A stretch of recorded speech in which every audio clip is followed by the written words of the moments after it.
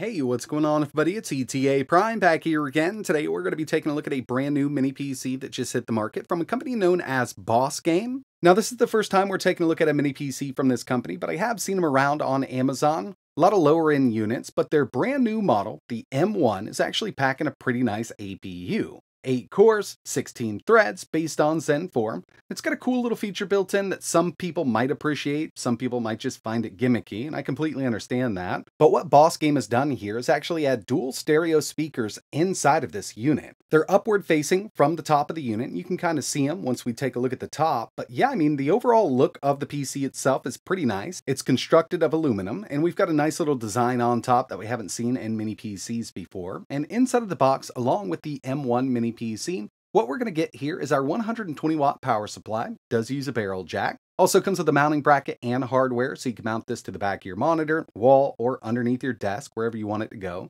A 6 foot HDMI cable, and our user manual.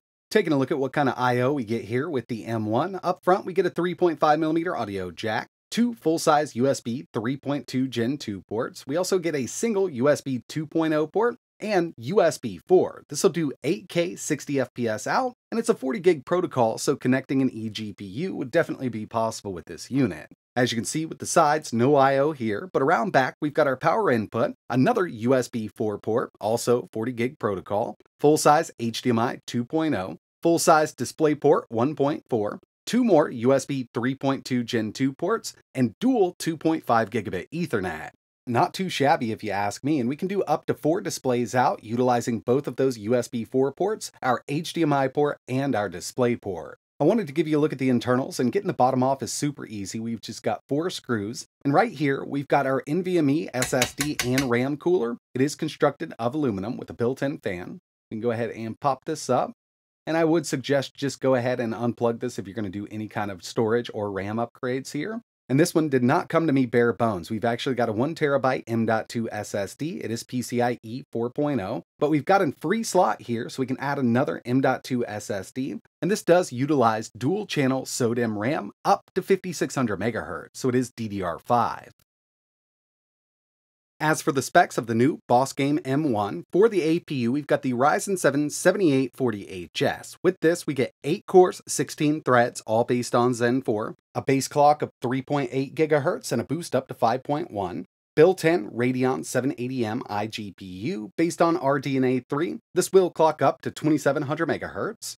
This mini PC does support up to 64 gigabytes of DDR5 RAM running at 5600 MHz, but the unit I have here has 32. We've also got two M.2 slots here, Wi-Fi 6, Bluetooth 5.2, and this is running Windows 11 Pro. Like I mentioned at the beginning of the video, this does have dual speakers built in, and I know a lot of these mini PC manufacturers are trying to come up with new ideas to kind of set themselves apart. I did want to give you a listen here. You can kind of see those speakers up top here through the grill, and these are Bluetooth speakers, which I found a little bit odd. Now, I understand that you can connect your phone to it or other devices, but it would have been really cool if it was just kind of line out to those from the mini PC. That way we could play all of our audio there, but again, we can connect this to Bluetooth, and it actually sounds pretty good with some decent volume.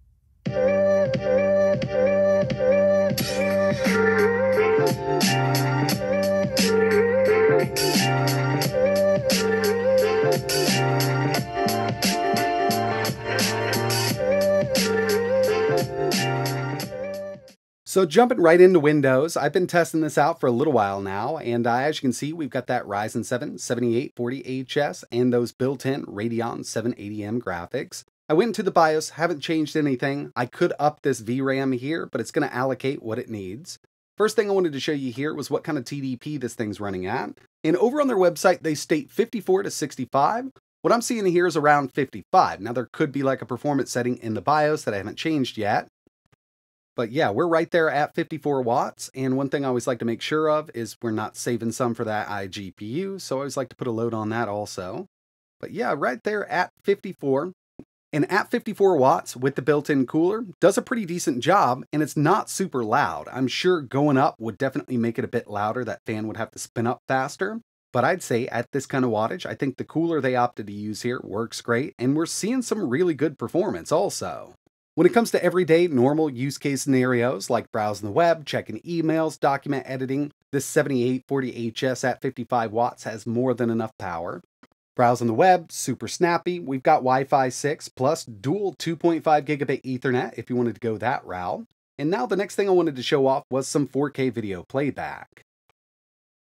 All right, so 4K 60 HDR. Got it set up, stats for nerds on screen. These chips have always kind of just powered through 4K playback, whether you want to stream it like here from YouTube, Netflix, Hulu, or run it from the internal or an external drive. With the 7840HS 4K video playback streaming from the web, right now with the way everything's set up, this thing's pulling around 14.6 watts from the wall. And if you take a look at stats for nerds, up in the top left hand corner, we've got zero drop frames. Through this whole thing, we didn't drop a single frame on this video. The next thing I wanted to take a look at were some benchmarks. Here's Geekbench 6 coming in with a single core of 2,603, multi 12,369. That single core score is looking really good here, but remember we are at a 54 watt TDP.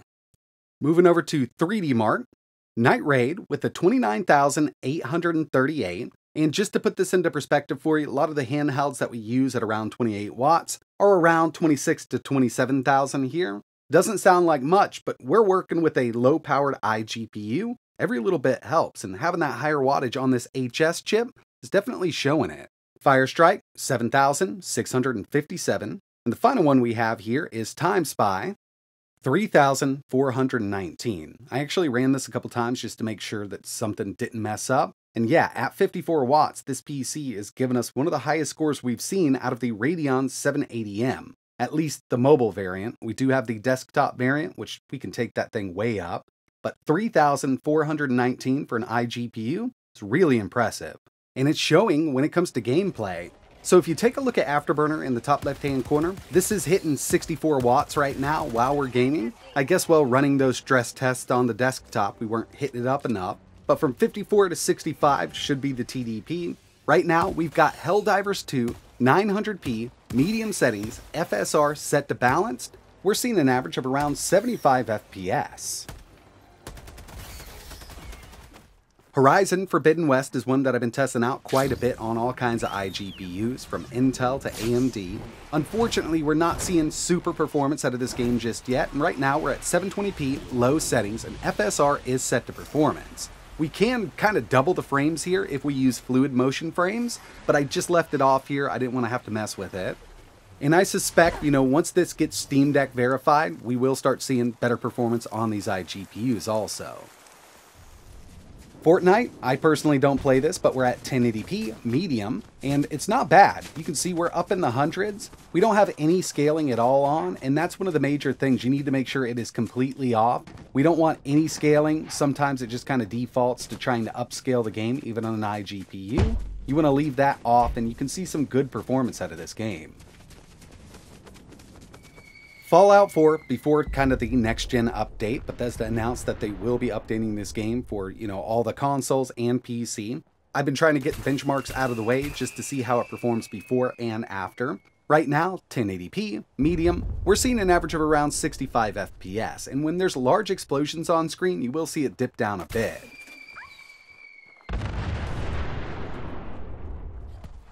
Here's Borderlands 3, and this one's always been a pretty decent performer, but uh, you know, once you get into the game, you will see some shader stutter, so you need to kind of get that cleared up, especially on these iGPUs. Once that's done, you can have a pretty smooth experience with this game at 1080p medium. We had an average of 88 FPS. Call of Duty Modern Warfare 3 1080p, balanced FSR is set to auto, I just used the built-in benchmark here, and with FSR at auto, I believe FSR has really set it balanced, because by the end, we had an average of 105 FPS, and if you take a look down the list there, our resolution scale is now at 59%.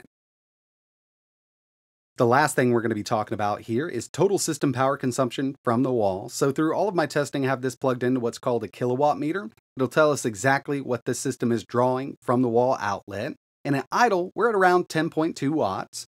Average gaming jumps up to 69.4, and the maximum that I could get this to pull was 78 watts. So it's not an ultra low power consumption mini PC, but it is drawing a lot less than a full size desktop would, and we're seeing much better performance than we would from an ultra low powered mini PC, like something with an N100. When it comes to the new Bosgame M1, it's a great performer. I mean, for everyday desktop use, even gaming, we can get it out of the way. Having that TDP go up to 54 watts, and in some cases, which was odd, seeing it hit around 64 while gaming with some games, but not all, we saw awesome performance across the board. Now, one thing here is we've got a lot of mini PCs on the market with the 7840 HS, and again, a lot of these manufacturers are trying to do new things to kind of set themselves apart, and I'm not sure if adding Bluetooth speakers here is really the key, but if this is something you're into, then I will leave links in the description.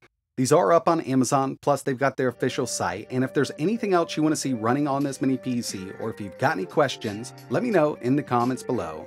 But that's going to wrap it up for this one, and like always, Thanks for watching.